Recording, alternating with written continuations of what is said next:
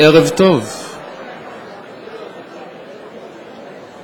שלום לכולם, ערב טוב. איזה יופי לראות אתכם בעוד ערב של המועדון האסטרונומי של אוניברסיטת תל אביב. אנחנו שמחים שבאתם. הפעילות של המועדון, למי שלא מכיר, אה, הכוונה היא להציג לכם ולקרב אליכם את האסטרונומיה ואת האסטרופיזיקה.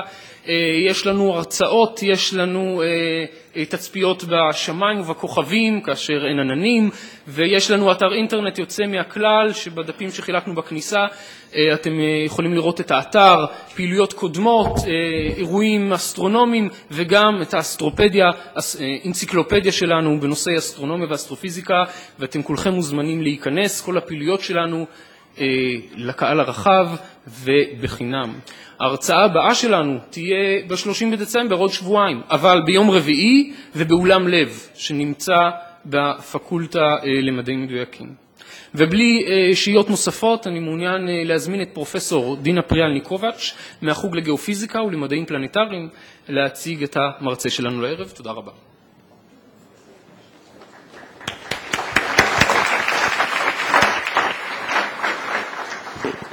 ערב טוב. זה כבוד ועונג להציג את מריו, לא שאני חושבת שהוא זקוק להצגה בפורום הזה, אני חושבת שכולכם יודעים מדוע באתם לשמוע אותו. אני מכירה את מריו כבר עשרות שנים, אז אני אתן לכם סקירה מאוד מאוד קצרה על הקריירה האקדמית שלו, שעברה, הוא עבר דרך כל המוסדות להשכלה גבוהה הגדולים בארץ, קיבל תואר ראשון באוניברסיטה העברית, תואר שני במכון ויצמן, תואר שלישי באוניברסיטת תל אביב, ואחר כך היה פרופסור במשך עשר שנים בטכניון. ב-1991 הוא עבר לארצות הברית, למכון טלסקופ החלל, ושם הוא מדען בכיר עד, עד היום הזה, ומילא הרבה מאוד תפקידים, בין השאר ראש החטיבה המדעית. מריו פרסם למעלה מ-500 פרסומים מדעיים שצוטטו בספרות המדעית קרוב לעשרת אלפים פעם, וזה דבר, דבר לגמרי מיוחד. הוא פרסם ארבעה ספרים פופולריים, שאני מתארת לעצמי שכולכם מכירים לפחות חלק מהם. אחד הספרים, היחס הזהב, קיבל שני פרסים, פרס פיאנו ופרס פיתגורס. הספר האחרון שעליו נשמע בהרצאה של היום הוכרז לפני זמן קצר על ידי הוושינגטון פוסט כאחד הספרים הטובים של השנה. הספרים האלה גם תורגמו לכמה שפות ומה שאנחנו בעצם הכנס של היום בא לציין את פרסום התרגום לעברית. דרך אגב ספרים בעברית יימכרו לאחר ההרצאה בחוץ ומריו יחתום עליהם.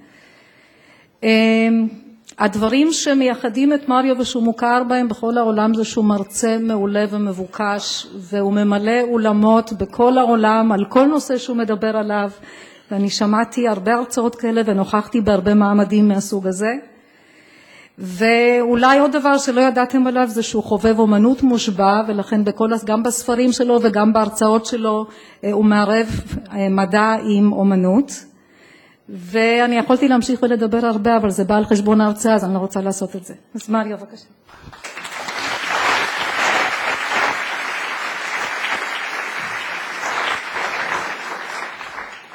תודה דינה.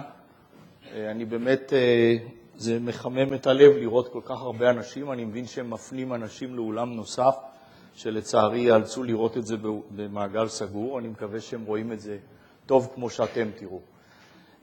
השקפים שלי כתובים באנגלית, אבל אני אדבר עברית, ואני אסביר את כל מה שצריך בעברית. האם אלוהים מתמטיקאי? הרבה אנשים שואלים אותי, נו אז מה התשובה?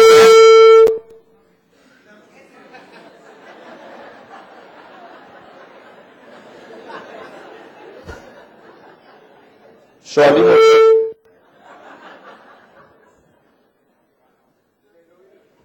נו, אז מה התשובה? אז אני אומר, זה לא שאלה של תשובה כן או לא.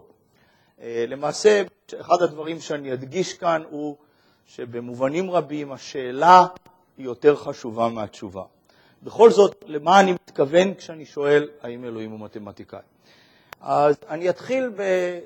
שני דברים שנאמרו על ידי שני פיזיקאים דגולים, אחד אלברט איינשטיין והשני יוג'ין ויגנר, בעל פרס נובל לפיזיקה, וזה הדברים שהם אמרו על המתמטיקה. אז איינשטיין אמר, אה, איך זה ייתכן שמתמטיקה, שהיא יצירה של אה, המחשבה האנושית שלא תלויה בניסיון, אה, מתאימה בצורה כל כך מצוינת לעצמים של המציאות הפיזית.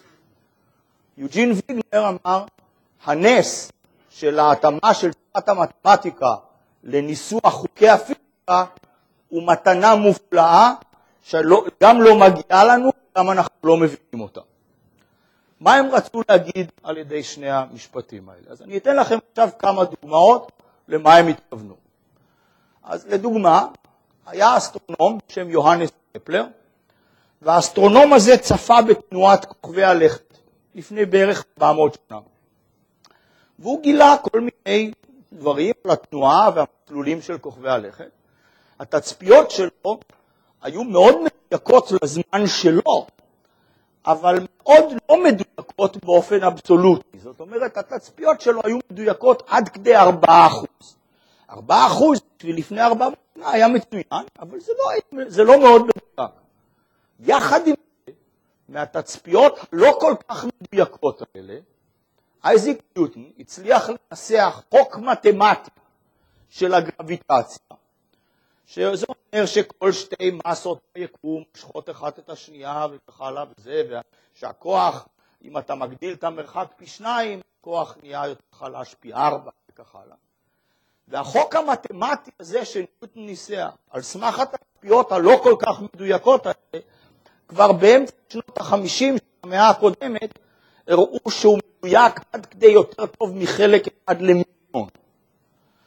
איך זה ייתכן שהוא מנסח חוק מתמטי על סמך תצפיות לא כל כך מדויקות, והחוק המתמטי הרבה יותר מדויק מאשר התצפיות שעליהן הוא ביסס אותו.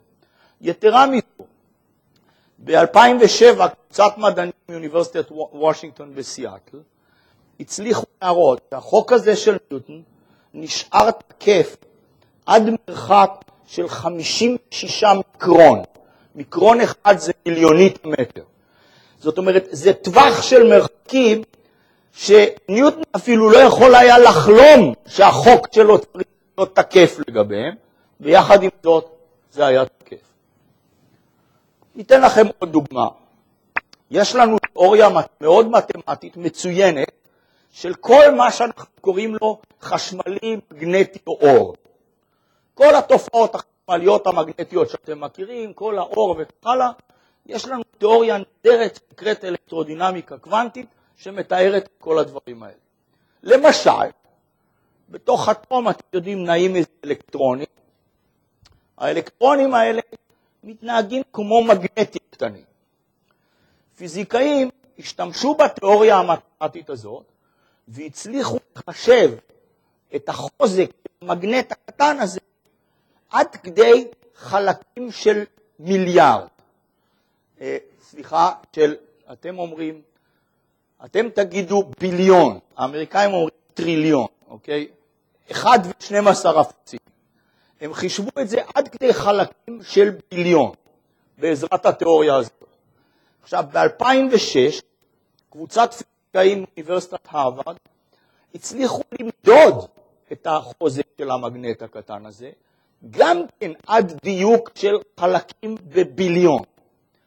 והתוצאה התיאורטית והתוצאה הניסיונית מתאימים עד כדי שמונה חלקים בביליון. זה כמה שטובה התיאוריה. אגב, פעם הייתי נותן הרצאות כאלה, ואנשים היו אומרים לי, אנשים בכלל לא תופסים מה זה, כמה זה ביליון. עכשיו כולם יודעים, זה הגירעון המספרי של ארה"ב בשנה. אז כולם יודעים עכשיו מה זה ביליון, או בארה"ב נקרא טריליון.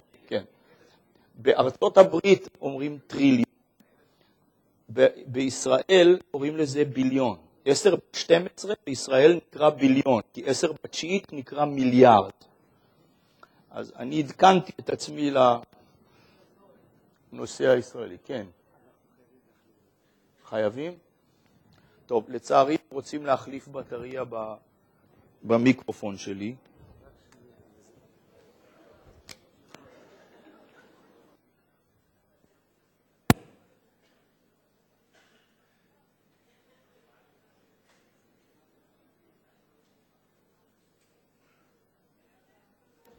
אוקיי. תודה לך. טוב, אז זה הדיוק של התורה המתמטית הזאת שיש לנו. מאיפה זה בא? מה נותן למתמטיקה כאלה כוחות שאנחנו יכולים להסביר את תופעות הטבע על ידי תורה מתמטית עד כדי דיוק מהסוג הזה? עכשיו, המצב אפילו עוד יותר מורכב ממה שתיארתי עד עכשיו, בגלל שליעילות הזאת של המתמטיקה יש אפילו שני אספקטים, אחד שאני אקרא לו אקטיבי ואחד שאני אקרא לו פסיבי, ואני רוצה להסביר מה אני מתכוון בכל אחד. מה זה יעילות אקטיבית? יעילות אקטיבית זה מדען מסתכל על איזה תופעות, רוצה איזושהי תורה מתמטית שתסביר את התופעות שהוא רואה, אין לו את המתמטיקה הדרושה, הוא מנסח ענף שלם חדש של המתמטיקה. אני אתן לכם דוגמה. כשאייזיק ניוטון רצה לתאר תנועה, לא הייתה לו מתמטיקה מתאימה לתאר תנועה, ואז הוא ישב וניסח בפעם הראשונה את מה שאנחנו קוראים היום חשבון דיפרנציאלי ואינטגרלי. הוא המציא, אם אתם רוצים, ענף שלם חדש של המתמטיקה כדי להסביר את מה שהוא רואה. וזה עבד מצוין, זה מפתיע כשלעצמו. אבל יש צד אחר, שאני קראתי לו פסיבי, שהוא עוד יותר מפתיע. וזה הדבר הבא. מתמטיקאים יושבים להם במשרד שלהם ומפתחים תורות מתמטיות וענפים של מתמטיקה בלי לחשוב על שום יישום כלשהו. למעשה, הם גאים בזה שאין שום יישום למה שהם מתכוונים לעשות. כי זה מה שמתמטיקאים טהורים אוהבים לעשות.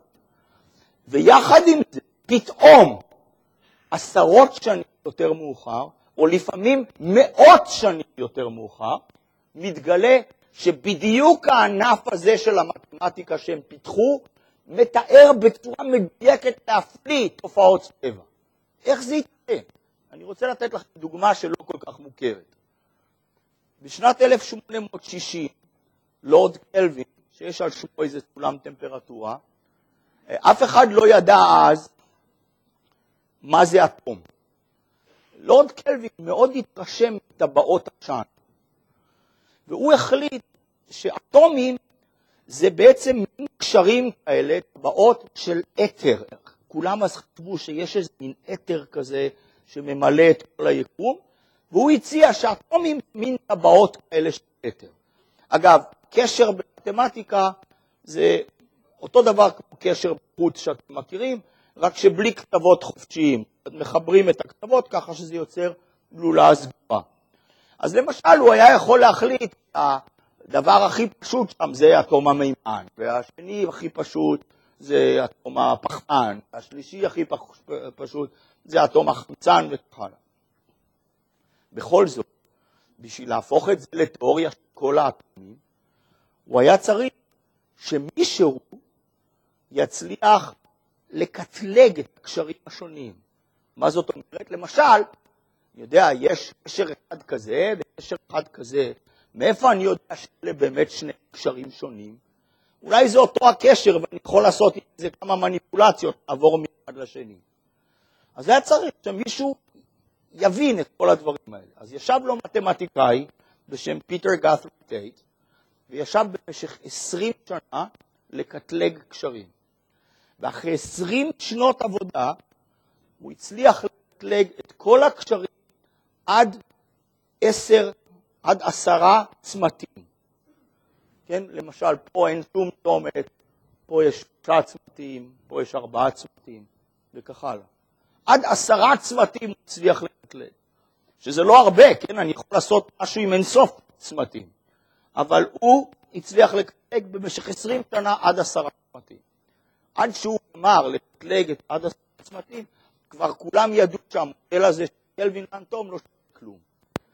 אז הייתם יכולים לחשוב, אוקיי, אם המוטיבציה שבגללה בכלל הוא התחיל לעשות את זה, היא נעלמה, אז המתמטיקאים יעזבו את הנושא הזה בכלל. לא, זה בדיוק מתי שמתמטיקאים התחילו להתעניין בקשרים והתחילו לעבוד עליהם במרץ רב, בגלל זה שהם התחילו להתעניין בקשרים בזכות עצמם ובתכונות המתמטיות שלהם.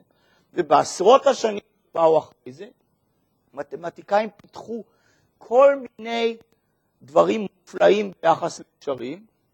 למשל, יש מתמטיקאי מאוד ידוע בפרינסטון, ג'ון הורטון קונווי, והוא הצליח להראות איך מעבירים משהו שיש לו צומת ומשהו שאין לו צומת.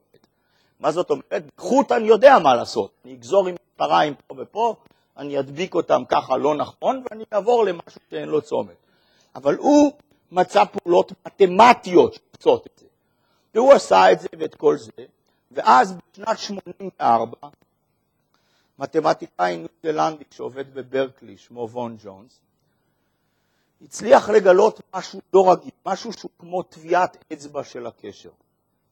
ממש מזהה את הקשר, וזה מין ביטוי כזה על גברי מזהה את הקשר, וזה זכה לשם, סליחה, אה, הפולינום של ג'ונס. והכל היה יוצא מן הכלל, ומתמטיקאים היו מאוד מרוצים, אבל לא היו יישומים. ואז קרו שני דברים. אחד, ביולוגים התחילו לחקור את ה-DNA. וה-DNA, אני מזכיר לכם, זה מין כאלה דאבל היליקס כזה, כן? כזה מין היליקס כפול כזה. עכשיו, מה קורה כשאתה מתחלק? כשאתה מתחלק, אתה איכשהו צריך להעביר את התמונות של ה-DNA לתא הבת. בגלל שה-DNA הוא מאוד מאוד מפותל וקשור, מה עכשיו?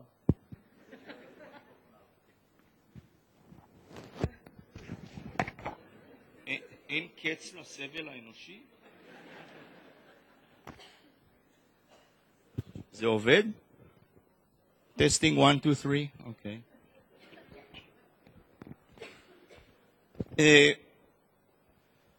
אז מה הם עשו? אה, אז הם, מה, מה עושה התא כשהוא צריך להתחלק? מה שהוא עושה זה, יש אנזימים שהם מצליחים להעביר חוט אחד של ה-DNA דרך החוט השני. זאת אומרת, במילים אחרות, בעצם מה שהם עושים, הם עושים בדיוק את הפעולה הזאת שקונווי עשה באופן מתמטי. זה מה שהאנזימים יודעים לעשות. אז מה הביולוגים גילו? הביולוגים גילו שהם יכולים לתת למתמטיקאים שתי קונפיגורציות של DNA, והמתמטיקאים יכולים להגיד להם באיזה קצב האנזימים עבדו. כי המתמטיקאים יודעים איזה פעולות מתמטיות צריך לעבור מצורה אחת לצורה השנייה. זה דבר אחד. דבר שני, אלה מכם, בייחוד שבאים פה להרבה הרצאות, אני בטוח שיצא לכם לשמוע על תורת המיתרים, string theory. זה הניסיון הכי טוב שלנו עד עכשיו לאחד את כל כוחות הטבע. מה הרעיון המרכזי של תורת המיתרים? הרעיון המרכזי של תורת המיתרים הוא שיש איזה מין עצמים כאלה שאנחנו קוראים להם מיתרים, שזה נראה כמו, אני יודע מה, כמו איזה גומייה, גומי כזאת, ושכל החלקיקים שאנחנו מכירים ואוהבים, כמו האלקטרון, הקווארק וכך הלאה, הם בעצם מין אופני תנודה של הגומייה הזאת. זאת אומרת, כמו שאתם יכולים לקחת מיתר של גיטרה ולפרוט עליו ולעשות כל מיני צלילים, הגומייה הזאת יכולה לרעוד בכל מיני צורות, והחלקיקים השונים זה בעצם מין צלילים שונים, אם אתם רוצים, של הגומייה הזאת. עכשיו, מה קורה כשהרבה כאלה גומיות עושות אינטראקציה ביניהן? קורים כל מיני דברים מסובכים כמו פה,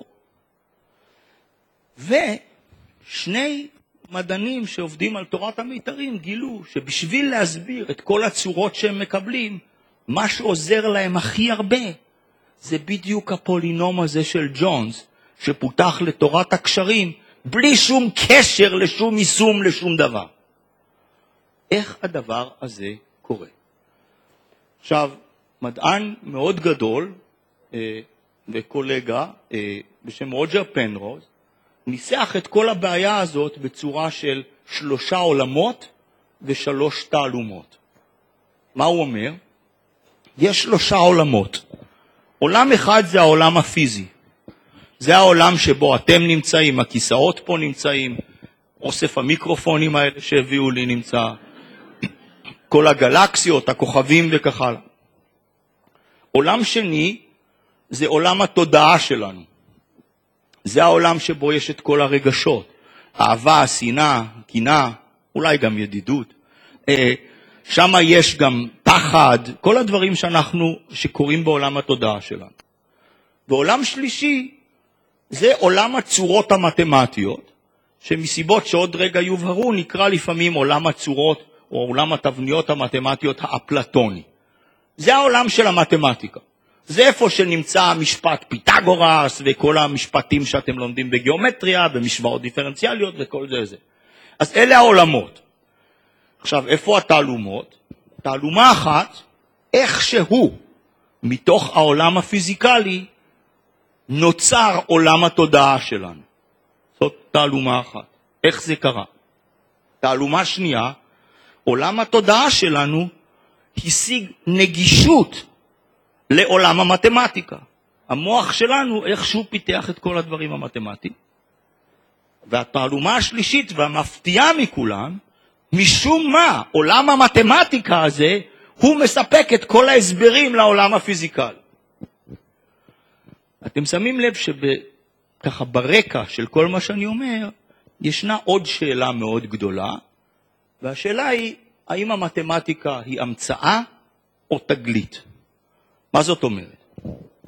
אני אגיד לכם קודם מה שלושה מתמטיקאים דגולים אמרו על זה.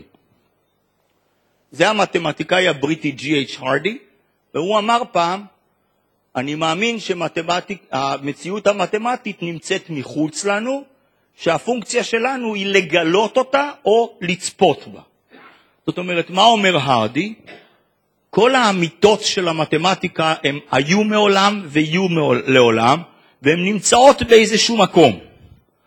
ואנחנו רק מגלים אותן, את האמיתות האלה, כפי שאסטרונומים מגלים גלקסיות חדשות. זאת אומרת, משפט פיתגורס תמיד היה נכון, והוא נמצא לו בעולם הצורות המתמטיות האלה, ואנחנו פעם אחת גילינו, פיתגורס נניח, או אולי ההודים לפניו, גילו, גילו את המשפט הזה. לעומת זאת, המתמטיקאים אד קסנר וג'יימס ניומן שכתבו את הספר הזה, אומרים בדיוק ההפך. זאת אומרת, הם אומרים, מתמטיקה שלא כמו המוזיקה של הספרות, היא היצירה של האדם בעצמו, והיא כפופה רק לא, לאותן ההגבלות שנובעות מחוקי המחשבה. זאת אומרת, מה הם אומרים? לא ולא, המתמטיקה לא נמצאת בשום מקום. היא רק נמצאת במוח שלנו.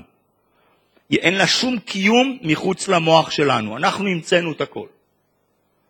עכשיו, אתם, אולי אתם שמים לב שיש פה משהו שממש לא רגילים אליו ביחס למתמטיקה. אנחנו תמיד רגילים שמתמטיקה יש כאלה הצהרות חד משמעיות שבטוח שהן נכונות. פתאום פה, מה זה, זה מתמטיקה זה? זה פוליטיקה פה. הם אומרים בדיוק ההפך אחד מהשני. איך זה ייתכן? אני אגיד לכם למה זה ייתכן. הסיבה שזה ייתכן היא כי השאלה האם מתמטיקה היא המצאה או תגלית, היא לא שאלה במתמטיקה גופה. היא שאלה בפילוסופיה. אם מתמטיקה היא המצאה של, המי, של המוח האנושי, אז היא שאלה במדעים הקוגניטיביים, איך עובד המוח וכך הלאה. היא לא שאלה במתמטיקה. איך הגענו למצב הזה? שאנחנו לא יודעים בכלל את הדברים הבסיסיים האלה. אז אחד הדברים שאני עושה בספר, די בהרחבה, ועכשיו אני אנסה פה לעשות מאוד מאוד בקיצור, זה אני אתן לכם קצת סקירה של כמה מהדמויות הבולטות במהלך ההיסטוריה שחשבו על הבעיות האלה והביאו אותנו למצב הזה. אז אני אתחיל מאפלטון, אדם חכם ביותר. הפילוסוף אלפרד נורת וייטהד כתב פעם שכל הפילוסופיה המערבית היא רק שורה של הערות שוליים למה שאפלטון כתב. אה, אפלטון, אולי חלק מכם זוכרים, היה לו את משל או האלגוריה של המערה, שבה הוא אומר, אנחנו, בני אדם, אנחנו כמו אסירים שנמצאים באיזה מערה, ומכריחים אותנו רק להסתכל על, את האסירים האלה רק על קיר אחד, ומישהו מטיל צלליות של אובייקטים על הקיר ההוא, האסירים האלה רואים את הצלליות והם חושבים שזה המציאות, בזמן שבאמת הם רואים רק את הצלליות. הוא אומר, אנחנו אנשים זה אותו דבר. למשל, כשזה נוגע למתמטיקה, הוא אומר, האמיתות של המתמטיקה הן תמיד היו, תמיד יהיו, הן נצחיות והן נמצאות באיזה עולם. לכן זה נקרא העולם האפלטוני הזה. כשאני מצייר משולש על פיסת נייר, זה לא המשולש האמיתי. המשולש האמיתי נמצא באותו עולם של המתמטיקה. המשולש שאני ציירתי פה זה רק איזה מין קירוב כזה גס לאותו המשולש האמיתי. זה מה שאפלטון חשב. וזה מה שיצר את התפיסה הזאת שנקראת אפלטוני. המתמטיקה היא רק תגלית, הכל נמצא שם, אנחנו מחפשים. הבן אדם האחריו, ארכימדס. ארכימדס, כשלוקחים בחשבון את הרקע של התקופה שבה הוא עבד, היה אולי המתמטיקאי הגדול ביותר בכל הזמנים. כשאתם משתמשים היום בנוסחה לשטח העיגול, ארכימדס מצא את זה. נפח של כל מיני גופים, ארכימדס כמעט המציא את החשבון האינטגרלי. גאון פירמידלי, אין לי מילים אחרות. אבל הוא עשה יותר מזה. הוא היה הראשון שלקח את המתמטיקה שלו והפעיל אותה למציאות. בזמן שהוא חי, הרומאים הטילו מצור של שנתיים על העיר שלו, סירקיוז. וארכימדס בנה כל מיני מכונות מלחמה שנלחמו ברומאים. בין השאר, ישנו איזה סיפור שהוא השתמש במראות כדי לרכז את אור השמש ולשרוף את הספינות של הרומאים. לפני כמה שנים סטודנטים ב-MIT החליטו לבדוק אם זה עובד. אז הם אספו 127 מראות, הם סידרו אותם באיזה סידור מיוחד, בנו דגם של ספינה רומאית והם הצליחו להצית אותו, את הדגם. אז זה פשוט פנטסטי שזה באמת ניתן לביצוע, רק אני אגלה לכם שלי הסיפור הזה אומר שזה אומנם סיפור מאוד יפה, אבל כנראה שזאת אגדה. למה אני אומר את זה? קודם כל, אני לא חושב שהיה כל כך קל בזמן ארכימדס להשיג את המאה ה-27 מראות, בייחוד לא בזמן המצור. שנית, המראות של החבר'ה האלה מ-MIT היו בערך מרחק תשעה מטר מהמודל. עכשיו, אתם מדמיינים לעצמכם, הספינות הרומאיות באות אל החומה, ושם תשע מטר מהם עומד ארכימדס ומעמיד את המראות שלו, אה, וככה וזה. גם המודלים האלה, הם היו, המודל הזה היה מאוד מאוד יבש, האוניות היו במים, האוניות גם זזות עם המים, מה שעושה יותר קשה למקד, אז כנראה שזה רק אגדה, אבל זה יפה מאוד שבפרינציפ זה ניתן לביצוע. בן אדם אחריו גלילאו גלילי. אני בטוח שלפחות אלה מכם שבאים להרצאות של מועדון האסטרונומיה כאן יודעים ששנת 2009 הוכרזה על ידי האומות המאוחדות כשנת האסטרונומיה הבינלאומית. מדוע? כי אנחנו חוגגים בדיוק 400 שנה לתצפיות הראשונות שגלילאו עשה עם טלסקופ. צפה בשמיים בפעם הראשונה עם טלסקופ בדיוק לפני 400 שנה. אבל גלילאו עשה עוד משהו שלטעמי הוא אפילו יותר מדהים מאשר התצפיות שלו בטלסקופ.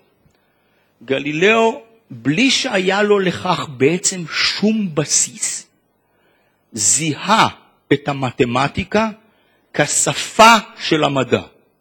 הנה מה שהוא אמר. פילוסופיה, הוא אמר, שבשבילו זה כל מדעי הטבע. כתובה באותו הספר הגדול, אני מתכוון היקום, הוא אומר, אבל אנחנו לא יכולים להבין אותו, ואנחנו לא יכולים, אם אנחנו קודם לא לומדים את השפה וקולטים את האותיות שבהם הוא כתוב. ואז הוא אומר, הוא כתוב בשפה של המתמטיקה. זאת אומרת, גלילאו החליט, באמת בהצהרה נועזת מאין כמוה, שהיקום כתוב בשפת המתמטיקה. אגב, בפרספקטיבה של היום, ההצהרה נראית אולי קצת פחות ברורה ממה שהיא נראתה אז, בגלל ש... תארו לעצמכם שלמשל היום אנחנו, אני בסוף אודיע לכם שהמתמטיקה היא רק המצאה של המוח האנושי, אז איך היקום ידע להיכתב בדיוק באותה שפה שבסוף הומצאה על ידי המוח האנושי? זה קצת מוזר, אבל בשביל הזמן שלו הצהרה פשוט מדהימה. אחריו רנה דקארט. רנה דקארט זה אישיות כל כך רבגונית. זאת אומרת, כמעט כל דבר שאתם רוצים להגיד, ולהגיד המודרני הראשון בסוף המשפט, התשובה היא רנה דקארט. זאת אומרת, מי היה הביולוג המודרני הראשון? רנה דקארט. מי היה הפילוסוף המודרני הראשון? רנה דקארט. מי היה וכולי. אתם קולטים את הרעיון כאן. עכשיו, רנה דקארט עשה משהו במתמטיקה שהזיז את כל המתמטיקה בצעד פשוט בלתי רגיל קדימה. ואני אסביר את מה שהוא עשה באמצעות המפה הזאת של מנהל. נניח שאתם נמצאים בפינה של רחוב 34 והשדרה השמינית, אתם צריכים לפגוש מישהו בפינה של רחוב 59 והשדרה החמישית. אין לכם שום בעיה למצוא את הדרך, נכון? אתם סופרים את הרחובות, סופרים את השדרות ומגיעים. את הפטנט הזה המציא רנה דקארט. זאת אומרת, מה שרנה דקארט מצא, שכל נקודה במישור, אני יכול לצייר לי זוג קואורדינטות, שהיום אנחנו קוראים להם x ו-y, ושכל נקודה אני יכול לאפיין בצורה חד משמעית ביותר על ידי הקואורדינטות שלה.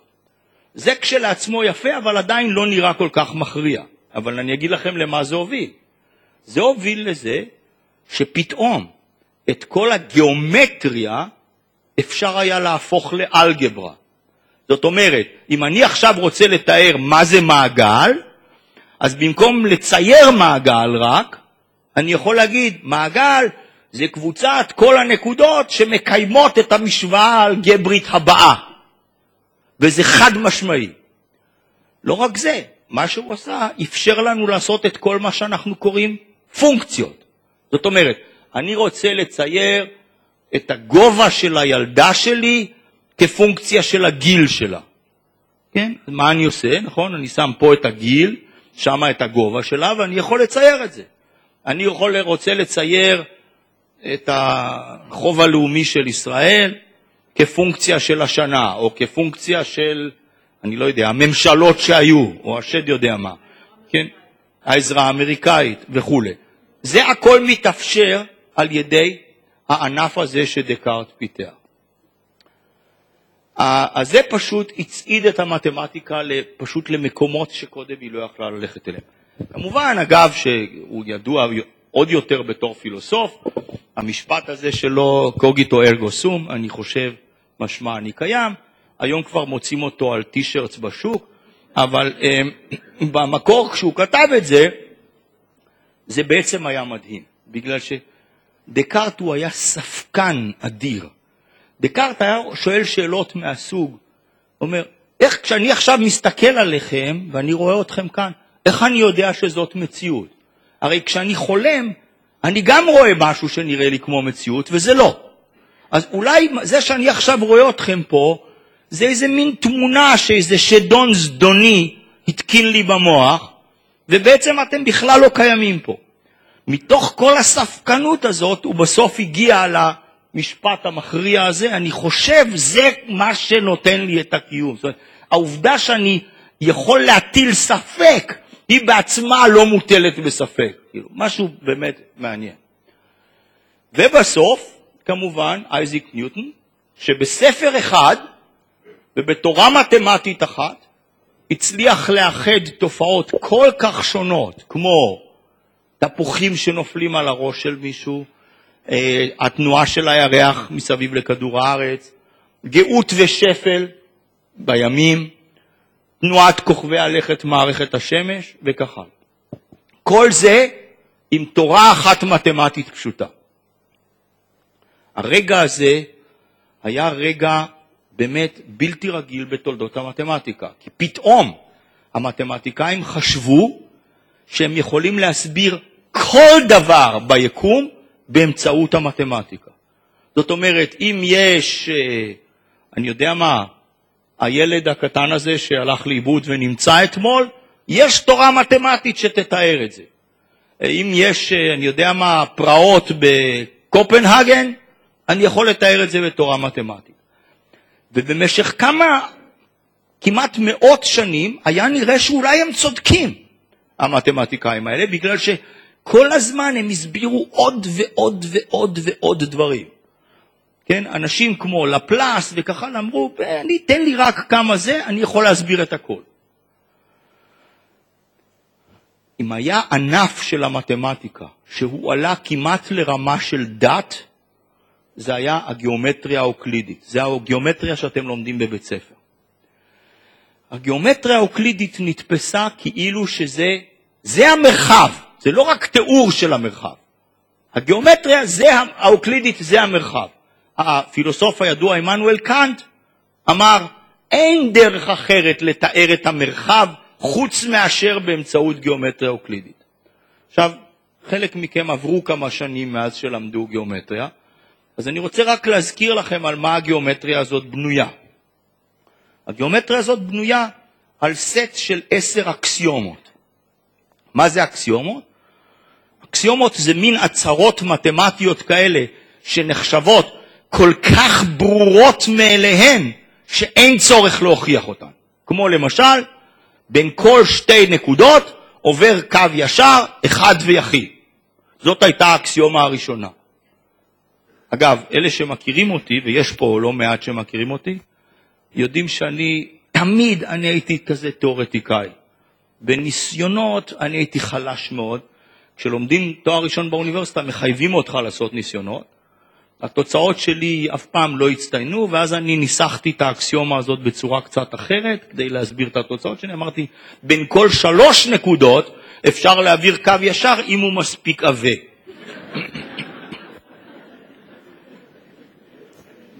עכשיו, היו העשר אקסיומות האלה, ביניהן האקסיומה החמישית הייתה אקסיומת המקבילים, שהיא הייתה יותר מסובכת מכל האקסיומות האחרות, והיא אמרה שאם יש לך קו ישר ויש לך נקודה מחוץ לישר, אפשר להעביר קו מקביל אחד ויחיד, אצל אוקלידס זה היה מנוסח עוד יותר מסובך, אבל זה היה אותו הרעיון, מחוץ לישר.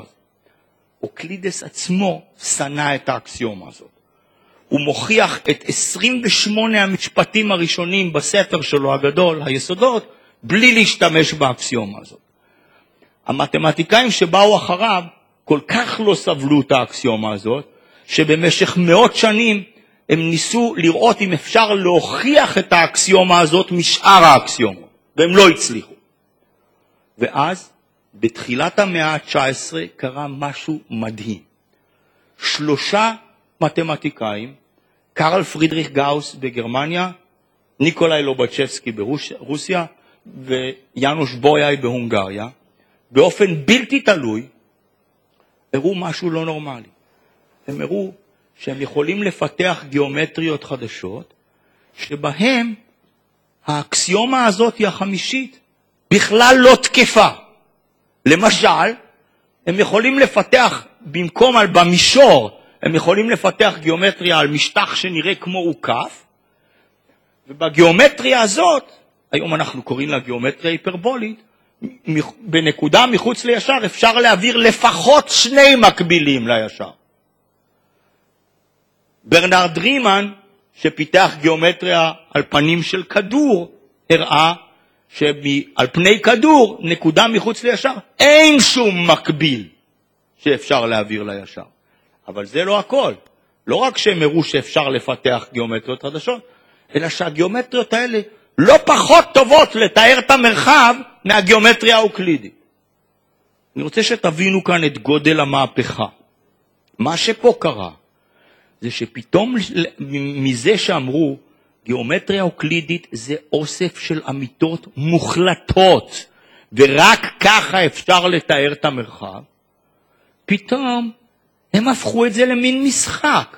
אני כותב סט אחד של אקסיומות, אני אקבל גיאומטריה אחת. אני אשנה את האקסיומות, אני מקבל גיאומטריה אחרת, והיא לא פחות טובה מהגיאומטריה הראשונה. זה כמו, אני מלמד אותך איך לשחק שחמט, ואני משחק איתך שחמט. אני משנה את החוקים, נשחק משחק אחר. זאת אומרת, פתאום, במקום כל הפלטון, האפלטונים האלה, שאמרו המתמטיקה זה אוסף של אמיתות מוחלטות שנמצאות שם ואנחנו רק מגלים אותן, קם בכלל בית ספר של מחשבה חדש, שאמר, נקרא הפורמליסטים, שאמרו, לא, לא, לא, מתמטיקה זה הכל משחק. אתה תכתוב אקסיומות, תקבל את האמיתות, תכתוב סט אקסיומות אחר, תקבל עוד אמיתות, אוסף של משחקים.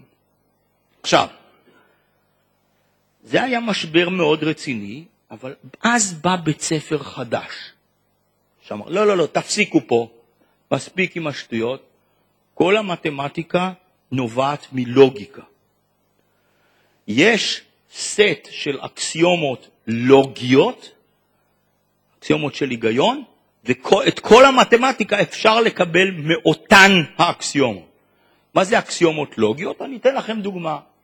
אני יכול להגיד לכם למשל, שאו שהמשרת רצח את המיליונר, או שהבת שלו הרגה אותו. עד עכשיו ברור? או המשרת או הבת הרגו אותו. עכשיו אני אומר לכם, הבת שלו לא הרגה אותו. אז אתם חייבים להסיק שאם כך המשרת הרג אותו, והמסקנה הזאת היא חד משמעית, היא לא תלויה במה האורך של האף של המשרת, איך נראית הבת וכך הלאה. זה מתוך האקסיומה הזאת חייב לצאת הדבר הזה. עכשיו, בא איזה בן אדם כזה ששמו גוטלוב פרגה, מתמטיקאי דגול, אבל אנטישמי לא קטן, אה, שהוא אמר, אני יכול להוכיח את כל המתמטיקה מאוסף של אקסיומות בלוגיקה. עכשיו, אני רוצה שתקשיבו עוד פעם למשפט. את כל המתמטיקה מאוסף של אקסיומות בלוגיקה. מה שזה אומר, גם 1 ועוד 1 שווה 2, זה לא בא מהניסיון, אני יכול להוכיח לכם את זה מתוך אקסיומות של לוגיקה. עכשיו, הדף הזה ששמתי פה, הוא מהספר הזה שכתבו ברטרנד ראסל ואלפרד נורת וייטהד, וזה השורות האחרונות בהוכחה שאחד ועוד אחד שווה שתיים מתוך האקסיומות של הלוגיקה. עכשיו, אני רואה כמה אנשים שאומרים, רגע אחד, את כל זה אני צריך לקרוא בשביל אחד ועוד אחד שווה שתיים? לא, אתה לא צריך, אבל זה מדהים שאפשר להוכיח את זה מתוך אקסיומות של לוגיקה. עכשיו, הפרגה הזה עשה עוד צעד אחד מכריע. הוא הראה שיש קשר הדוק ביותר בין כל הלוגיקה ומה שאנחנו קוראים היום תורת הקבוצות. מה זה קבוצה? קבוצה זה כל אוסף של עצמים, לא צריך להיות ביניהם שום קשר. יכולה להיות קבוצה שמורכבת מאימא שלי, האוזן השמאלית שלי, המושג של אהבה חופשית וסימפוניה של בטהובן. זאת קבוצה לגמרי לגיטימית. כל אוסף של עצמים זה קבוצה. איך מקשרים בין לוגיקה ותורת הקבוצות? אני אתן לכם שתי דוגמאות. האחת, נניח שאני מסתכל על קבוצת כל הסוסים. קבוצת כל הסוסים היא מוכלת בקבוצת כל בעלי החיים בעלי ארבע רגליים, נכון? ברור לגמרי. קבוצת כל הסוסים היא חלק מהקבוצה של קבוצת בעלי החיים בעלי ארבע רגליים. זה נתתי לכם הצהרה בתורת הקבוצות. את אותה הצהרה אני יכול לתת בצורה של הצהרה לוגית, שאומרת, אם X הוא סוס, אז הוא בעל חיים בעל ארבע רגליים. נכון? זה אותו דבר. עכשיו, פרגה עשה עוד דבר די מפתיע. הוא הראה שהוא יכול להגדיר מתי לשתי קבוצות יש אותו מספר חברים, אפילו בלי שהוא מגדיר בכלל מה זה מספר. איך? אתם יודעים, יש פתגם, לכל פח, לכל סיר יש מכסה, או לכל פח זבל יש מכסה, נכון? אם לכל פח זבל יש מכסה, אז אני יכול להגיד שקבוצת כל פחי הזבל יש לה אותו מספר איברים כמו קבוצת המכסים, ובלי שהגדרתי מה פירוש מספר. טוב, אז כל זה היה מאוד יפה, ופרגה התחיל לכתוב ספר שמן שנקרא יסודות האריתמטיקה, שבו הוא התכוון להראות שכל האריתמטיקה נובעת מסט של אקסיומות לוגיות. אגב, הקטע הזה שהכל יוצא מהלוגיקה, כולם היו מרוצים מזה. כי אלה הפלט, הפלטונים האלה, הם אמרו, אהה, אם הכל נובע מלוגיקה, אז אולי זה הלוגיקה שנמצאת אי שם בזה, ואנחנו מורים את ה... אלה שהפורמליסטים שאמרו הכל משחקים, גם שמחו, כי הם אמרו, בסדר, יש אוסף המון של משחקים, אבל יש איזה אימא של כל המשחקים, שכל המשחקים נובעים ממנה, שזה הלוגיקה, בסדר. אז הכל היה טוב ויפה, פרגה כתב את הספר השמן, והיה מוכן לשלוח אותו לדפוס. ואז קרה משהו מזעזע. והדבר המזעזע שקרה היה כל כך מזעזע שאפילו האיש הזה הזדעזע. ואני אתאר לכם מה קרה באמצעות השלט שהספר הזה שם. הספר הזה שם שלט שאמר, אני מגלח את כל ורק את אותם הגברים בכפר שלא מגלחים את עצמם. לגמרי ברור, נכון? כל הגברים שמגלחים את עצמם לא זקוקים לשירותים של הספר, והספר מגלח את כל השאר. זה לגמרי הגיוני. אבל, מי מגלח את הספר? אם הספר מגלח את עצמו, אז הוא אחד מאלה שמגלחים את עצמם, ואז הוא לא מגלח את עצמו. אם לעומת זאת הספר כן מגלח את עצמו, אז הוא אחד מאלה שמתגלחים בעצמם, ואז הוא לא מגלח את עצמו. זאת אומרת, יש כאן, חזרתי על אותו דבר פעמיים, אז אם הוא לא מגלח את עצמו, אז הוא אחד מאלה שלא מגלחים את עצמם, ואז הוא צריך לגלח את עצמו. את הפרדוקס הזה המציא ברטרנד ראסל כדי להראות שכל הלוגיקה שלנו יכולה להיכשל בגדול. אגב, הספר כל כך זועזע מזה שהוא שם שלט סגור. אה, עכשיו, במכתב שראסל שלח לפרגה, הוא לא סיפר לו על הספר, אלא, דרך אגב, רק בתור קוריוז אני אגיד לכם, כשהספר הזה, האם אלוהים מתמטיקאי, מתורגם, זאת אומרת כבר תורגם לכמה ויתורגם ל-14 שפות לפחות, שאני יודע עליהן. מכל התרגומים יש רק תרגום אחד שאני גם מסתכל עליו, שזה התרגום לעברית. אה, ובתרגום לעברית יש בעיה, בגלל שבעברית גם שמות העצם וגם הפעלים יש להם זכר ונקבה. אז לדוגמה, אחד הפתרונות האפשריים לפרדוקס הזה, כשאתה כותב אותו באנגלית, הוא שהספר הוא אישה. אבל אי אפשר לכתוב את זה בעברית, כי אז היה צריך לכתוב, אני מגלחת, אז זה לא עובד. כן? אז, אז יש כמה דברים שבתרגום אי אפשר להעביר, בסדר. עכשיו, ראסל לא כתב לפרגה על הספר, אבל הוא כן כתב לו על משהו, על קבוצת, כל אותן קבוצות שהן לא איברים של עצמן. זה נשמע מסובך בגלל שזה מסובך. אה, אבל אני אתן לכם רגע רק דוגמה בכל זאת קצת בשביל להסביר. רוב הקבוצות הם לא איברים של עצמן. לדוגמה, קבוצת כל הסוסים היא לא איבר של עצמה, כי היא לא סוס, היא קבוצת כל הסוסים, היא לא סוס, נכון? אבל קבוצת כל מה שלא סוס היא כן איבר של עצמה, כי היא לא סוס. טוב, אני אשאיר לכם בתור uh, תרגיל בית להוכיח האם קבוצת, כל אותן קבוצות שהן לא איברים של עצמן, היא איבר של עצמה או לא.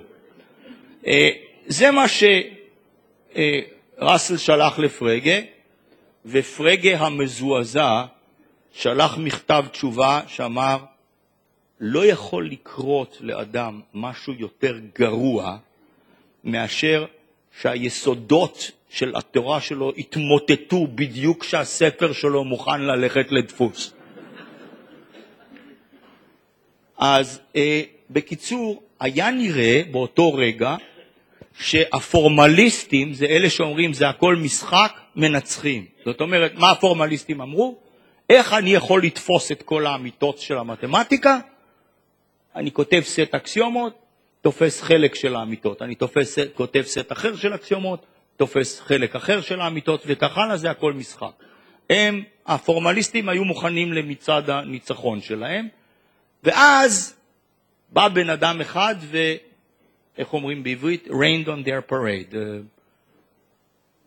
עשה גשם על המצעד שלהם. לא יודע אם יש כזה משפט בעברית. קלקל להם את המצעד, בקיצור.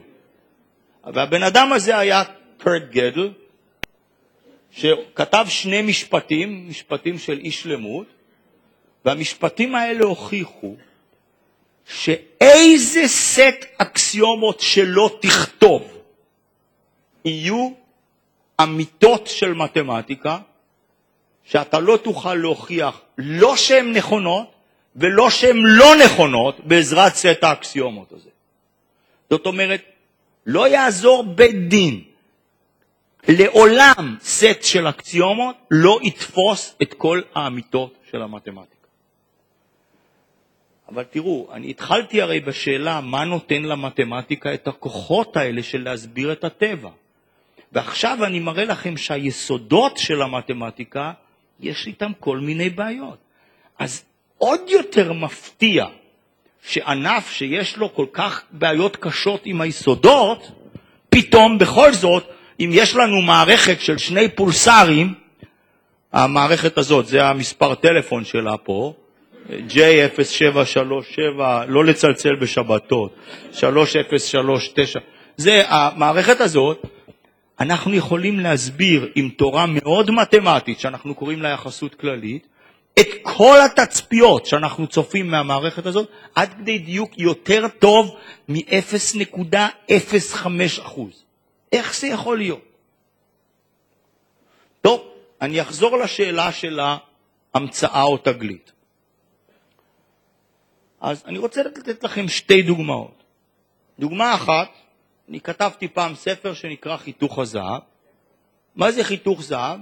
תיקח איזה קטע של ישר, אתה יכול לחלק אותו לשני קטעים, כך שאם אתה מחלק אותו כך שהחלק הארוך לחלק הקצר זה כמו כל הקטע לחלק הארוך, אז חילקת אותו בחיתוך זהב.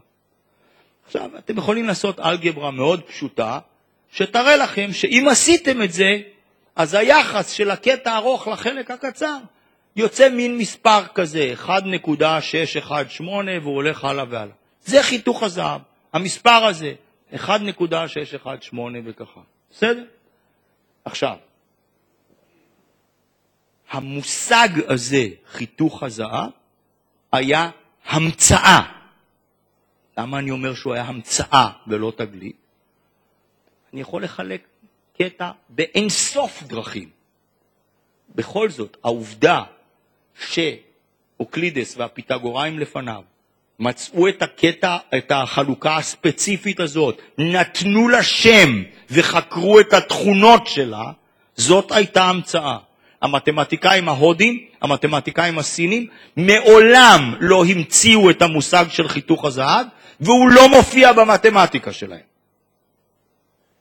המצאה שנייה, במאה ה-13 היה מתמטיקאי בשם ליאונרדו מפיזה, הוא מכונה פיבונאצ'י, שהוא המציא את סדרת המספרים הבאה, 1, 1, 2, 3 וכך הלאה, כל מספר בסדרה הזאת שווה לסכום שני המספרים לפניו. 8 זה 5 ועוד 3, 13 זה 8 ועוד 5, 34 זה 21 ועוד 13 וכך הלאה. למה אני אומר שהסדרה הזאת הייתה המצאה שוב? אני יכול להמציא אינסוף סדרות. אני יכול להמציא סדרה שבה כל מספר הוא סכום 19 האיברים לפניו. סדרה שבה כל מספר הוא סכום 13 האיברים לפניו ושמונה האיברים אחריו. יש אינסוף דרכים. העובדה שדווקא הסדרה הזאת ניטה לה שם וחקרו את התכונות שלך, שלה, זאת הייתה המצאה. אז פה שתי המצאות. אבל עכשיו אני אתן לכם דוגמה לתגלית. ברגע שכבר המצאת את המושג הזה, חיתוך הזהב, והמצאת את המושג של הסדרה הזאת, אתה עכשיו יכול לקחת מספרים בסדרה הזאת ולחלק אותם אחד בשני. 144 חלקי 89, 233 חלקי 144 וכך הלאה. מה שתגלה זה שהיחס של המספרים האלה הולך ומתקרב לחיתוך הזהב. לאנשים אין כבר שום בחירה בקטע הזה. ברגע שהמספר הזה הומצא, והסדרה הזאת הומצאה, היחסים האלה נותנים את המספר ההוא, שום דבר לא יעזור. זאת הייתה תגלית. במילים אחרות, כששואלים את השאלה האם המתמטיקה היא המצאה או תגלית, יש פה כבר משהו לא טוב בשאלה. בגלל שהשאלה הזאת כאילו משאירה אותך עם הרושם שאני חייב להגיד שזה זה או זה ולא יכול להיות משהו אחר. מה שאני אומר לכם עכשיו זה שהמתמטיקה היא תרכובת מאוד מסובכת של המצאות ותגליות.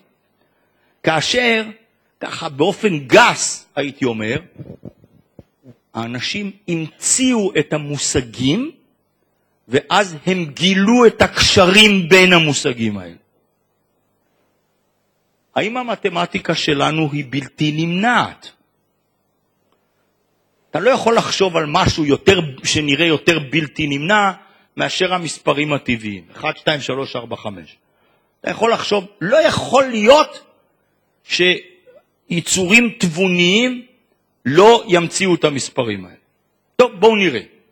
נניח שהתבונה היא לא במוח האנושי, אלא במוח של איזה מדוזה בודדת שחיה בקרקעית האוקיינוס השקט. זה היצור התבוני היחידי שקיים.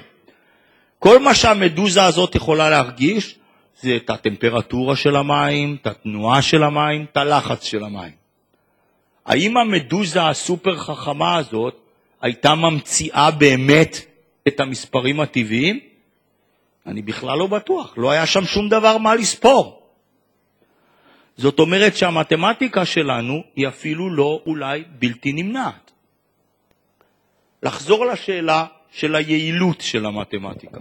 למה המתמטיקה עובדת כל כך טוב? עכשיו, זאת שאלה מאוד קשה, ובגלל זה זה לוקח ספר שלם לנסות לענות על זה. אבל מה שאני אעשה עכשיו, אני רק אתן לכם קצת מהטעם של איך חושבים על זה בכלל, למה זה קורה. אז, ואני אתאר לכם את זה עם ניסוי כמעט אידיוטי ייראה ברגע הראשון. מה הניסוי? יש לי כלי כזה אטום, ויש לי אוסף של אבנים. אני לוקח כמה אבנים, שלוש אבנים, שמתי אותם בכלי. אני לוקח עוד כמה אבנים, חמש אבנים, שמתי אותם בכלי. אני רוצה, אני עכשיו אומר משהו בומבסטי, תיאוריה מתמטית שתתאר לי כמה אבנים יש בכלי.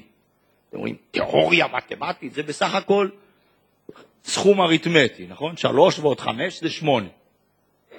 אבל רגע, עכשיו אני אעשה ניסוי אחר. במקום האבנים האלה, אני לוקח את הבקבוק מים הזה, שלא יצא לי עדיין לשתות ממנו, אני רואה שמישהו אבל כבר שתה ממנו. אה, אני לוקח את הבקבוק מים הזה, ולתוך הכלי הזה אני שופך שלוש פעמים, ועוד חמש פעמים. אני יכול להגיד שיש לי שמונה מים בכלי? ברור שלא, יש לי איזה מים בכלי. בשביל לתאר את הניסוי הזה, אני צריך להמציא מושג לגמרי אחר, אולי המשקל של המים למשל, או משהו כזה. זאת אומרת שהמתמטיקה שאנחנו משתמשים בה, היא לא נבחרה באופן שרירותי, ואותה המתמטיקה מתאימה לכל דבר, אלא אנחנו קצת בוחרים את המתמטיקה ככה שהיא תתאים למצב הנתון. ככה זה עובד. טוב, אני אסיים עכשיו, אולי לפני זה רק. האם יש משהו שמבטיח לנו שברבות הימים יהיה לנו תיאוריה מתמטית של כל דבר? התשובה היא, לא רק שאין שום דבר שמבטיח לנו את זה, אני יכול להוכיח לכם שיש אין סוף דברים שלעולם לא תהיה לנו תיאוריה מתמטית שלהם. עכשיו, בדרך כלל כשאנשים... אהה, זה כנראה נכון.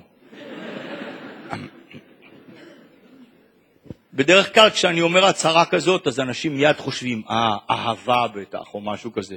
לא, משהו הרבה יותר פשוט. נניח שמישהו אומר לכם, תן לי רק מחשבים מספיק גדולים, ואני אוכל לתאר לך את תחזית מזג האוויר ברמה הזאת שאני אוכל להגיד לך מה כל אטום של האטמוספירה הולך לעשות. בדיוק. עכשיו, ככה במבט ראשון זה נראה שאולי זה נכון, אם יהיה לי מחשב מספיק גדול, אני אכניס את כל הנתונים של כל האטומים ואני אוכל, אם יהיה לי את אדע את כל המשוואות, אני אפתור ואני אדע. התשובה היא לא, לעולם אני לא אדע, ואני אגיד לכם למה. להרבה מערכות הן מפתחות מה שנקרא כאוס, כן, או תוהו ובוהו, אני יודע מה, מה אומרים. זאת אומרת, המערכת כל כך רגישה לתנאי ההתחלה, יש לה רגישות אינסופית לתנאי ההתחלה. זאת אומרת, אתה עושה את השינוי הכי קטן בתנאים שמהם התחלת, והתוצאה הסופית יכולה להיות שונה לחלוטין. עכשיו, מה זה אומר? שבשביל לחשב מה כל אטום באטמוספירה הולך לעשות, אני צריך להתחיל מזה שאני יודע איפה כל אטום באטמוספירה היה ומה הייתה המהירות שלו וכך הלאה, בדיוק אינסופי. אבל תורת הקוונטים אומרת לנו שאני לא יכול להגיד לכם בדיוק אינסופי אפילו איפה אטום אחד היה והמהירות שלו בדיוק אינסופי. יתר על כן כל האטומים של האטמוספירה. אז זה לא בעיה של גודל מחשבים, לא נוכל לעשות את זה. כנ"ל עשן של סיגריה, אה, למעשה אפילו כוכבי הלכת של מערכת השמש, ככה בטווח מאוד ארוך המערכת הזאת יכול להיות שהיא כאוטית והיא תעשה כל מיני דברים מוזרים. טוב, עכשיו אתם זוכרים שהתחלתי מהעובדה שאמרתי לכם שהשאלה האם אלוהים מתמטיקאי יותר חשובה אולי מהתשובות? אני רוצה להגיד לכם משהו שברטרנד ראסל אמר את זה, על זה, והוא אמר את זה בצורה יפהפייה, ועמנואל לוטם תרגם את זה בצורה יפהפייה בספר שלי, אבל אני אתרגם את זה ככה חופשי פה, השפה שלי לא כל כך עשירה כמו של עמנואל בעברית, אבל אני אתרגם את זה חופשי מהטקסט. אה, ברטרד ראסל דיבר על פילוסופיה, אבל כל מה שאני דיברתי עליו גם היום קשור לפילוסופיה. אז זה מה שהוא אמר. הוא אומר, צריך ללמוד פילוסופיה לא בשביל איזה שהן תשובות מוחלטות לשאלות שלה, בגלל שלא ניתן למצוא תשובות מוחלטות אה, שאפשר לדעת שהן באמת נכונות, אלא צריך ללמוד את זה בשביל השאלות עצמן. בגלל שהשאלות האלה מרחיבות את התפיסה שלנו של מה שניתן לעשות, הן מעשירות את הדמיון האינטלקטואלי שלנו ומקטינות את הביטחון הדוגמטי שסוגר את המוח שלנו כנגד ספקולציות. ומעל לכל, בגלל שדרך הגדולה של היקום שהפילוסופיה חושבת עליו, המוח שלנו בעצמו נהיה גם כן גדול, והוא נהיה מסוגל להתאחדות או איחוד עם, אותו, עם היקום כולו, וזה הדבר הכי גדול שאנחנו יכולים לשאוף אליו. תודה לכם.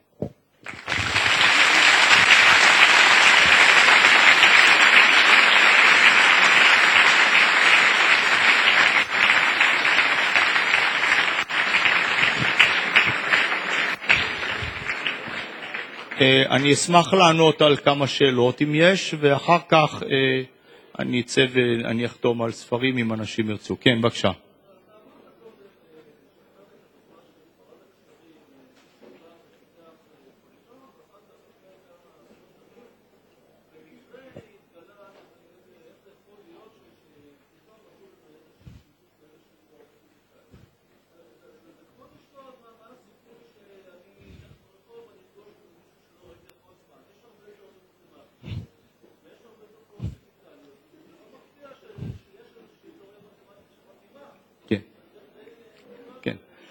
כן, אז האדון הזה אומר, אה, שאני נתתי למשל דוגמה עם תורת הקשרים, שאיך זה מפתיע שפתאום אה, אחרי שנים אה, מגלים שזה נותן הסבר לכל מיני תופעות פיזיקליות, ומה שהאדם הזה אומר הוא, יש המון תיאוריות מתמטיות, יש המון תיאוריות פיזיקליות, זה לא מפתיע שנמצא הסברים של הזה.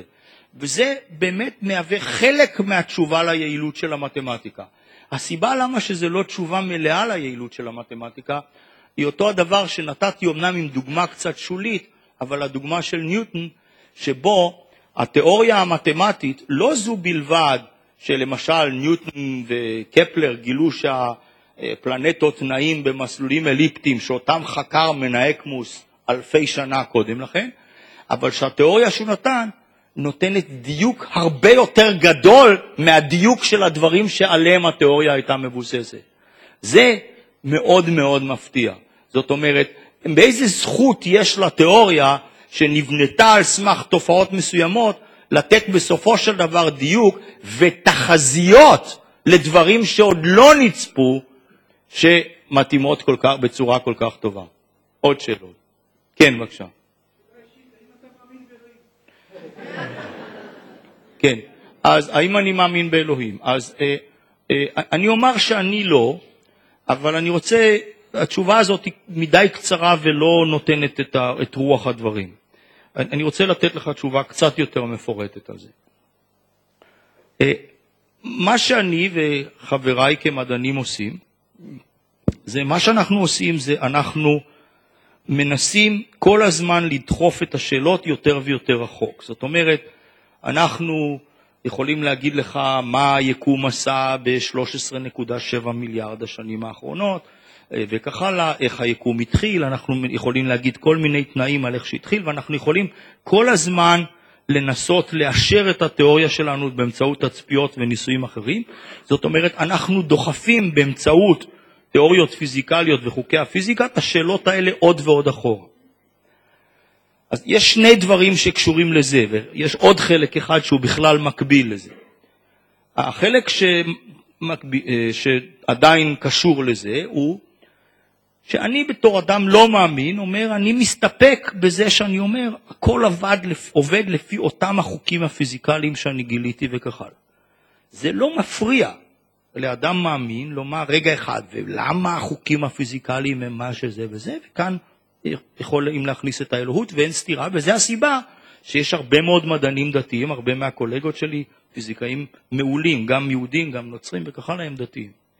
אבל יש עוד שאלה שהיא שונה לחלוטין, והיא השאלה הבאה.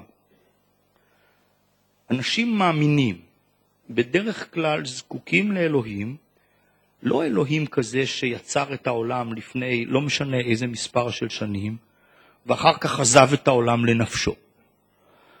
אדם שבאמת מאמין, זקוק לאלוהים שנמצא שם עבורו או עבורה כל יום, כל שעה וכל שנייה. מנחה את כל ההתנהגות המוסרית שלו, וכך הלאה וזה. למדע אין בכלל מה לומר על סוג כזה של אלוהים. זאת אומרת, זה נמצא באיזשהו מישור שבכלל לעולם לא מתנגש עם המישור המדעי. אז אני מכבד כל אחד שכך הוא חושב על מושג האלוהות, ולמרות שאני לא מרגיש את זה בחיים שלי, אני חושב ש...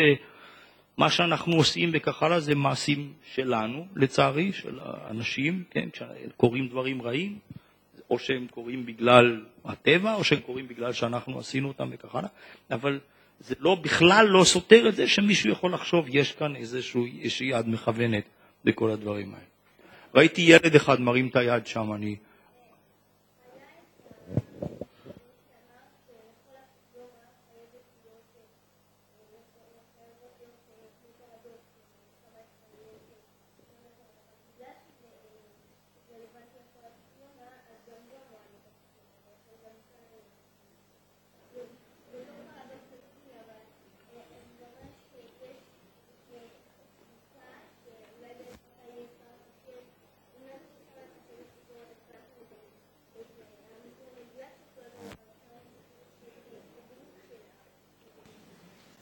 תגיד, מותר לי לשאול אותך בן כמה אתה?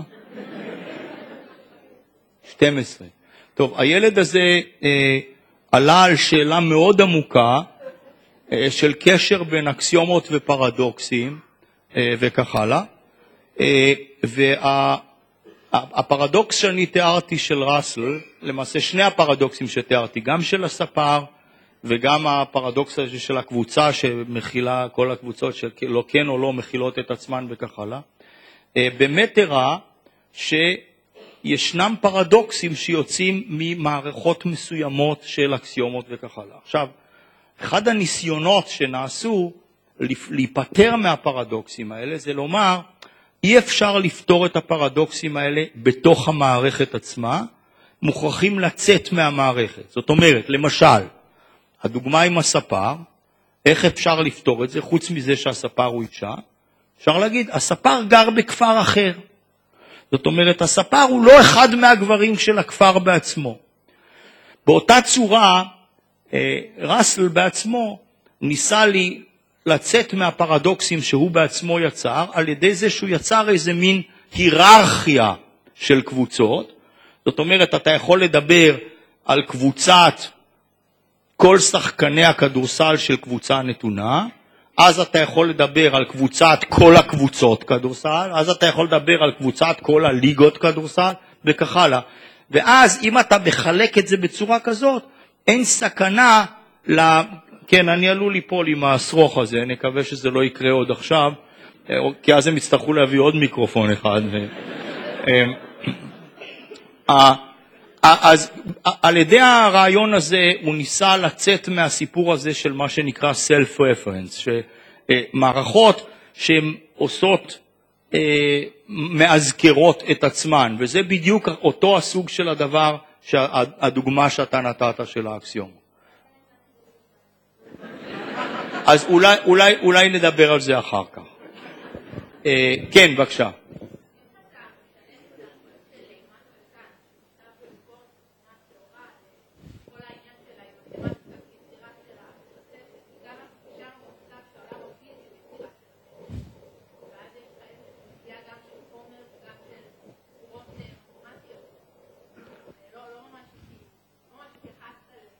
נכון.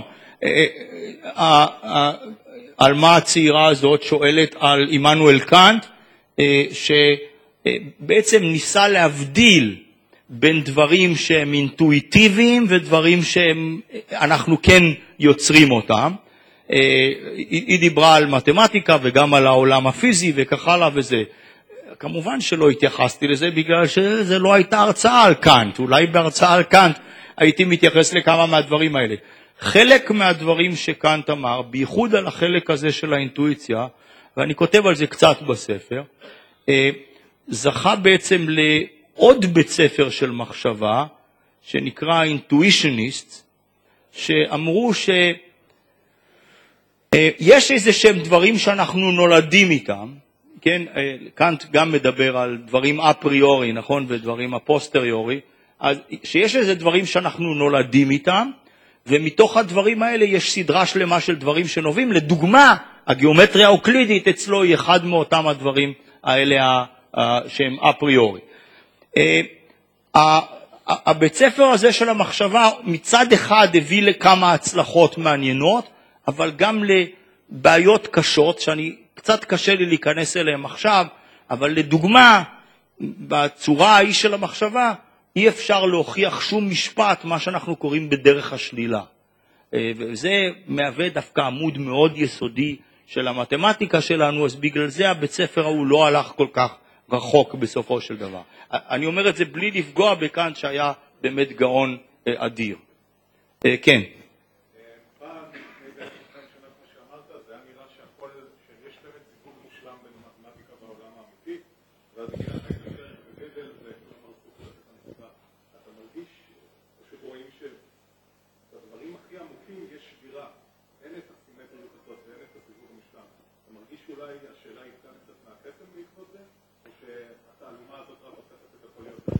כן, אה, האדון הזה שואל, הוא אומר, יש דברים אה, שאנחנו רואים שבהתחלה חשבו שהמתמטיקה תסביר את הכל וכך הלאה, ואז מצד אחד בא עיקרון אי הוודאות של תורת הקוונטים, אה, מצד שני באו משפטים כמו גדל שהראו את ההגבלות של המתמטיקה עצמה, והאם אני מרגיש שיש פה איזו שבירה של הקסם, הוא גם קישר את זה לשבירה של סימטריות.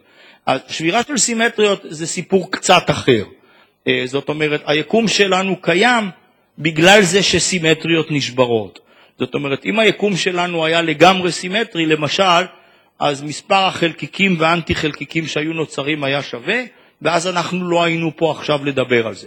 אז על ידי שבירה מזערית של חלק בביליונים, של הסימטריה הזאת, זה מה שאפשר את קיום העולם. האם אני מרגיש שהבעיות האחרות שוברות את הקסם?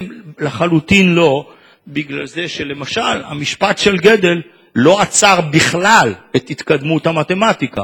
זאת אומרת, כל מה שהוא הראה זה מה המגבלות של מערכת אקסיומטית. הוא לא אמר שיש אמיתות של מתמטיקה שלעולם לא נדע. אנחנו יכולים להמשיך לחקור. עוד אולי ניקח איזה שתי שאלות, כן?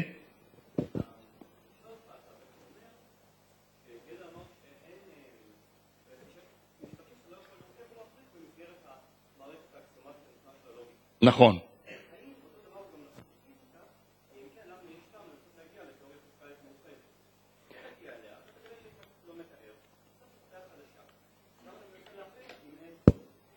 כן, אה, האדון הזה שואל האם יש משהו דומה למשפט של גדל, שיש לך מערכת אקסיומטית שלא יכולה לתאר את כל האמיתות של המתמטיקה, האם יש משהו דומה בפיזיקה, וזה אומר שלא נוכל לתאר הכל. התשובה היא בדיוק כמו התשובה שנתתי לאדון הקודם. זאת אומרת, העובדה של מה שגדל הוכיח רק מראה לנו מה המגבלות של מערכת אקסיומטית של אוסף סופי של אקסיומות. היא לא אומרת בשום אופן שאנחנו, יש אמיתות של מתמטיקה שלעולם לא נגלה. ובדיוק באותו אופן, זאת אומרת, אין שום דבר שעל פניו אומר שיש אמיתות של הפיזיקה שאנחנו לא נגלה. יש מגבלות שנובעות מתורת הקוונטים. אלה הם המגבלות שאנחנו יודעים עליהן. זאת אומרת, אנחנו יודעים היום שאנחנו לא נוכל לעולם לתאר תוצאות של ניסוי באופן דטרמיניסטי, אלא אנחנו רק יכולים לחשב את ההסתברויות לכל מיני תוצאות, כן? זאת אומרת, זו מגבלה שאנחנו יודעים עליה, אבל זה עדיין משהו אדיר, שאנחנו יכולים לתאר את כל ההסתברויות של כל מה שיקרה. אולי שאלה אחרונה, אה, שאלה, אני מאוד אשמח אם תהיה שאלה, זאת אומרת, השאלות האלה אה, היו אה, אתם יודעים, כמו שאנשים, אני ראיתי פה כותבים בוואלה ובכאלה, אתם יודעים, מישהו שיודע. אז הם כותבים כזה. אז רוב השאלות פה היו כאלה של מישהו שיודע. אולי יש שאלה ככה קצת יותר נאיבית של מישהו שבאמת רוצה לדעת משהו ולא רק... אה, זה, כן, אולי זה אתה. למרות שאתה נראה לי כזה חכמולוג כזה.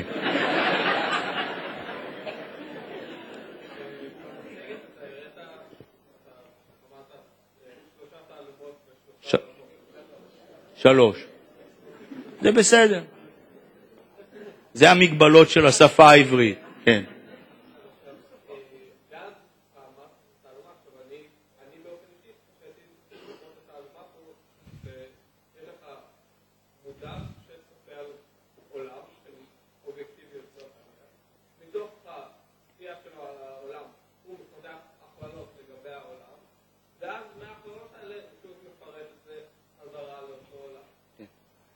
כן, אה, כן.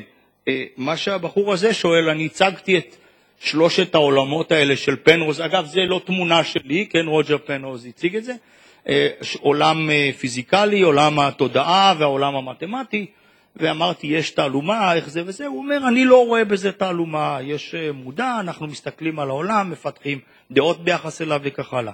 תראה, אתה בלי שום ספק צודק, בלי שום ספק, אבל אני אגיד לך למה פנרוז באמת מתכוון. מה שהוא באמת מתכוון, כשהוא אומר שאנחנו לא מבינים איך עולם התודעה, למשל, יצא מהעולם הפיזיקלי, הוא, בעצם הוא שואל את השאלה הבאה, הוא שואל, האם יהיה איזשהו זמן, אי פעם, שאנחנו למשל נוכל לכתוב, אנחנו היום יכולים, אני הראיתי לך דוגמה לאלקטרודינמיקה קוונטית, שאנחנו יכולים לכתוב תורה של התופעות שאנחנו קוראים להן חשמליות מגנטיות, ושאנחנו יכולים לתאר אותן בדיוק של חלקים ביליון ישראלי או טריליון אמריקאי. האם יהיה אי פעם זמן שאנחנו נוכל לתאר את עולם התודעה גם כן בתיאוריה כזו, במין דיוק כזה? זו שאלה אחת. השאלה השנייה היא השאלה הזאת בדיוק של היעילות של המתמטיקה. זאת אומרת, פנרוס גם כן תוהה מה נותן למתמטיקה את הכוחות האלה שיכולה לתת ניבויים לדברים שלא נראו מעולם, והניבויים האלה יוצאים נכונים בצורה בלתי רגילה. זאת אומרת, זה התעלומה. לא שבכלל המצאנו איזושהי תיאוריה וכך הלאה וזה וזה. טוב, אני מאוד מודה לכם.